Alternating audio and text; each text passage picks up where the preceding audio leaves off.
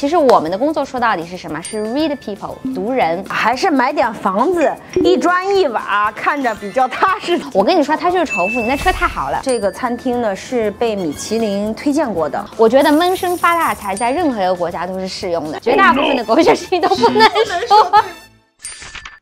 吃了你的繁花套餐，我真的是意犹未尽。我最喜欢的是排骨年糕，除了这两个菜还有什么呀？我我感觉今天好像你少请我吃两道菜。我们这个繁花套餐呢，是和那个上海和平饭店现在的双人套餐比较类似的，因为呢，这个英国的食材啊和国内的食材呢有点区别，从它的这个菜品上面稍微改了一下。呃，我们有那个松鼠鱼，你刚才吃到的对吧？因为因为正好也是过年嘛，就年年有余嘛，那鱼是不能少。的，还有一个就是呃大白菜海参那个酸辣汤。哦，海参我没有吃到啊，你下次要请我吃的啊，太贵了呀，小气了，资本家，资本家，最贵的一道菜藏起来了。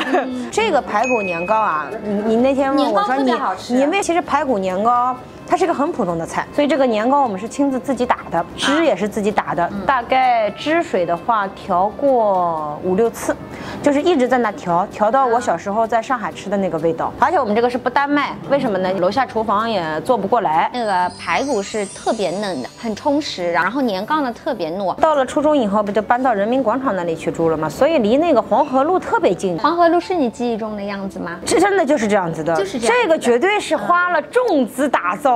那天跟我爸妈在聊天，我爸就说了：“你看我追你妈妈跟外公吃饭的时候，其实就是在至臻园那家店，就黄河路进去的那家饭店，你知道吧？可有名了。看来我们白总不仅是创一代，还是富二代。富二代肯定是谈不上的，不是跟你说了吗？风口没踏上嘛。我爸没让我妈买认购证吗？买了之后，你这个钱也是要亏掉的，你信不信？你想那么好，每个都被你踩上了，然后一九九七，一九九七股灾你就全部输掉了。还是买点房子，一砖一瓦。”啊，看着比较踏实点，我觉得。不停的买房，不停的去积累。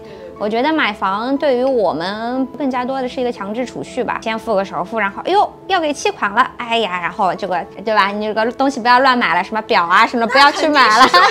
Lisa。我不过我去年冬天我就什么都没买，为什么呢？第一我是发现我家的衣橱装不下了，我觉得我先要把我这个房子 upgrade 一下，然后我换房，要换房再往里面装，不然真的装不下了。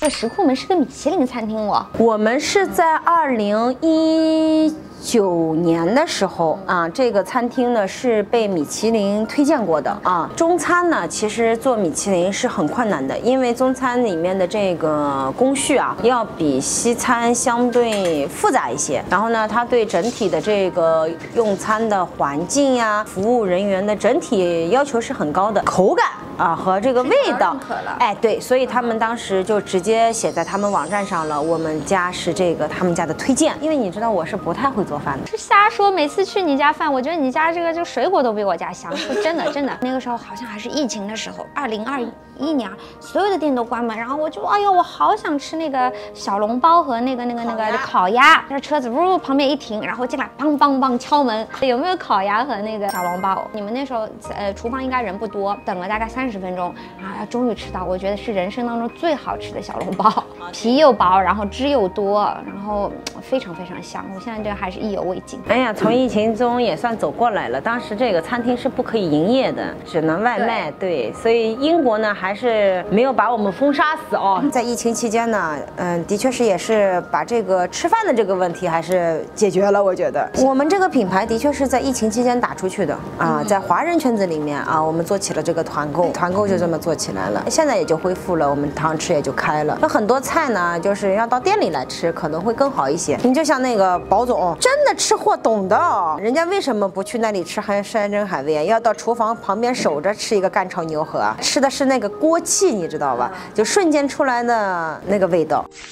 我是去年开车的时候弄手机，也是被警察抓到两次。不过那个还是非常幸运的，警察就把我教育了一下。第一次呢是有一个警察，他非常 gently 的，他从我旁边开过去，然后呢他看见我在弄手机，我是 proper 的在发短信，然后他就这样，嗯，就这样 very gently，好，那会儿没事，好，我第二天。我又碰到另外一个警察，我又在弄手机，然后另外警察从这一侧开过来，开过来之后他哔，他鸣警笛了，很吓人的。我想，我想我要死了，这人不会把手铐拿出来吧？后来他手铐没有拿出来，但是他开到我旁边，他就说把你的车窗摇下来，我就摇啊，不是这样摇，有个按键。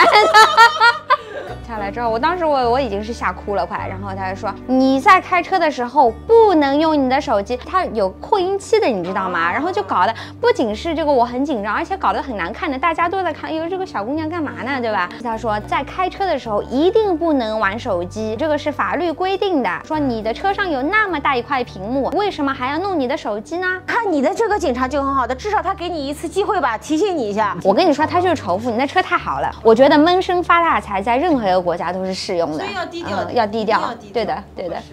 太倒霉了。你你遇到过什么狗血的事情？太多了，就是，但有些狗血事情可以说，有些狗血事情不能说，绝大部分的狗血事情都不能说，就不太不太能说。那比方说我们做生意的过程当中，哎呀，太多了，这个每天这个血淋淋的。其实我们的工作说到底是什么？是 read people，读人。还有朋友跟我打打探的，哎，Lisa，你是怎么做你客人的背景调查的？我说有什么好做的了？他上来我跟他聊几句，我就清楚了。对，就知道他的预算在什么范围，他大概什么时候可以下手，他这次能不能下手，这我们就清楚了嘛。我们的工作不仅仅是读人，然后我们也是和钱这一块是非常息息相关的，打很多交道的。所以你也知道，这个一旦有这个钱的介入，就会有很多狗血的事情发生。哎，我问你个问题啊，就是你长得那么好看，上海小女人的，哎，其实一开始我在看片的时候，你知道吧？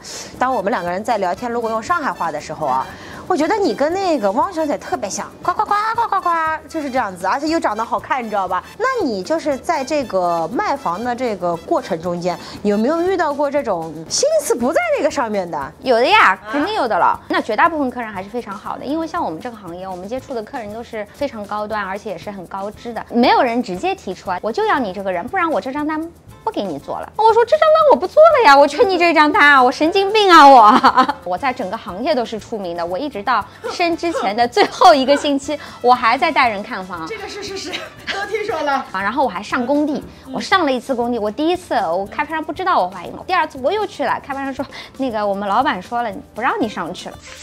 大钱一定不在你计划中的，你没有办法去计划的，它是瞬间来的。这个运势来了时候，你要做好足够的准备我。不管是做哪个行业的，呃，就是我们是点滴累积的，这个是挣的是平均的钱，就是你有发展的，你有规划的。但是意外来的这个东西，你也要有这个能力接得住的，所以你是接住了。那今天谢谢白总的时间啊，然后也是谢谢白总到访我们的直播间，谢谢白总的繁花套餐非常好吃，大家一定要过来吃。今天我们就到这里啦，拜拜。下次一定请你喝海参，不要忘记啊，很重要。要啊。那今天就这样啦，拜拜，拜拜。来英国的上海人，also 关注我。